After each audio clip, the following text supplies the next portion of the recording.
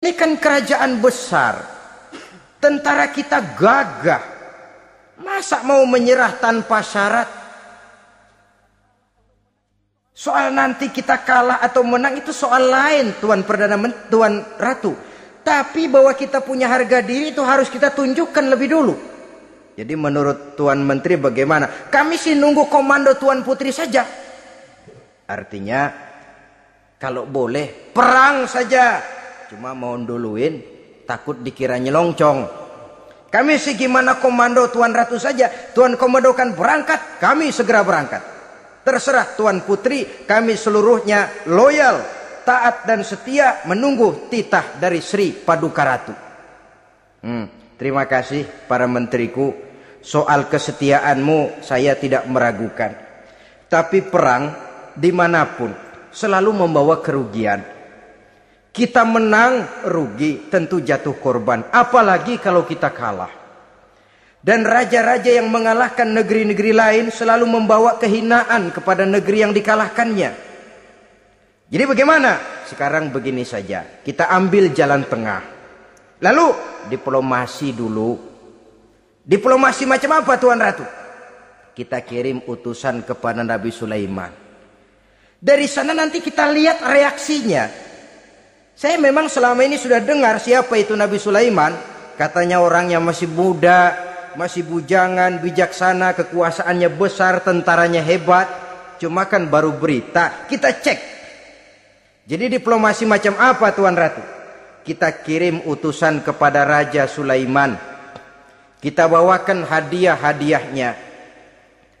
Yang mahal-mahal, mewah-mewah, menarik. Pokoknya yang terbaik di negeri kita berikan kepadanya. Lihat reaksinya.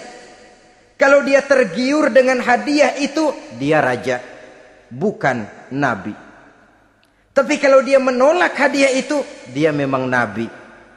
Dan apa reaksi kita nanti tergantung sikap Nabi Sulaiman. Aha, kalau begitu setujulah ratu. Itu memang bijaksana. Diplomasi dulu. Iya, jangan datang-datang main perang aja loh. Perang sih gampang. Tapi ini kan ada meja perundingan. Sepanjang masih kita bisa menempuh jalan damai, damai saja dulu. Baik. Maka diaturlah satu barisan diplomasi untuk menuju Palestina, kerajaan Nabi Sulaiman alaihi salam. Rombongan terdiri dari 500 orang laki-laki dan 500 orang perempuan yang laki ganteng, yang perempuan cantik. Yang laki dikendarai dengan kuda-kuda pilihan dan yang perempuan dikendarai dengan keledai-keledai pilihan. Kuda dan keledai pun dihiasi begitu rupa, pelanaknya yang terbagus dilapis dengan sutra, sedangkan bawaan-bawaannya tidak lain daripada intan, berlian, mutiara, jamrut, yakut, kesturi, yang dilapis dengan sutra tenun yang asli. Pendeknya hadiah yang serba wah. Dan rombongan ini dipimpin oleh seorang diplomat ulung dari negeri Sabah bernama Munzir bin Amru. Ini ahli diplomasi dari negeri Sabah. Dipesanlah oleh Ratu Balkis kalau datang nanti kamu ke negeri Sulaiman, sikapmu harus begini, begini, dan segala macam ditatar dulu. Sebab ini mau diplomasi tingkat tinggi. Baik Sri Ratu. Nah sudah mendengar perundingan ini burung hud-hud pulang ke negeri Nabi Sulaiman. Apel lagi lapor Tuan Raja bagaimana hud-hud? Sikapnya mereka akan mengutus utusan dengan membawa berbagai macam hadiah untuk datang ke negeri kita. Baik Nabi Sulaiman kumpulkan tentaranya terutama para jin. Hei tentaraku khususnya kalian para jin akan datang rombongan tamu besar ke negeri kita. Maka mulai saat ini saya komandokan kamu bangun satu istana yang megah yang belum pernah ada dalam waktu yang relatif singkat. Dan lantai daripada istana itu harus dilapisi dengan kaca-kaca tebal yang bening bawahnya diisi dengan air, diisi dengan ikan-ikan hias yang indah-indah.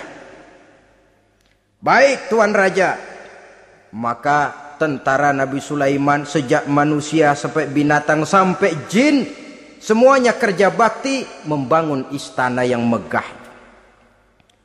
Sehingga sebelum rombongan kerajaan Sabah ini sampai istana sudah selesai mereka masuk ke dalam istana Nabi Sulaiman.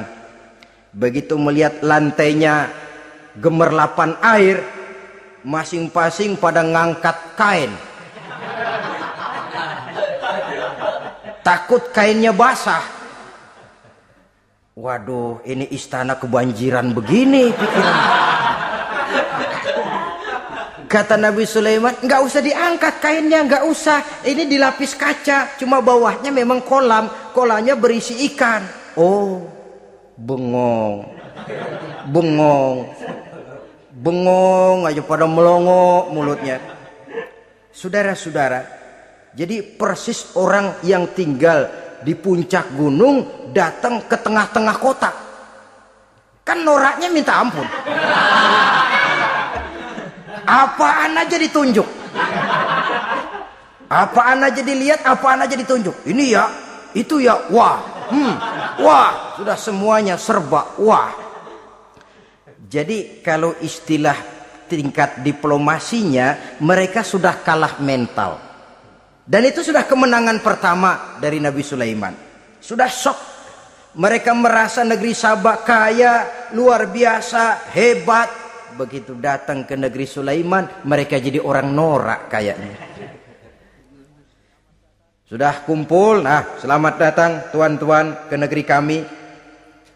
Ada pesan apa? Majulah Munzir bin Amru. Tuan Sulaiman bagaimana?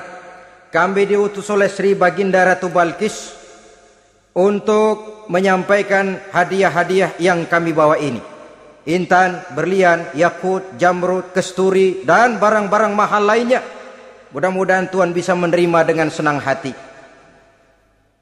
Nabi Sulaiman tersenyum. Lalu beliau berkata, Atumiddunani bimalin, fama atani Allahu khairun mimma atakum. Hmm. Kamu mau memberikan saya seluruh hadiah-hadiah permata intan ini?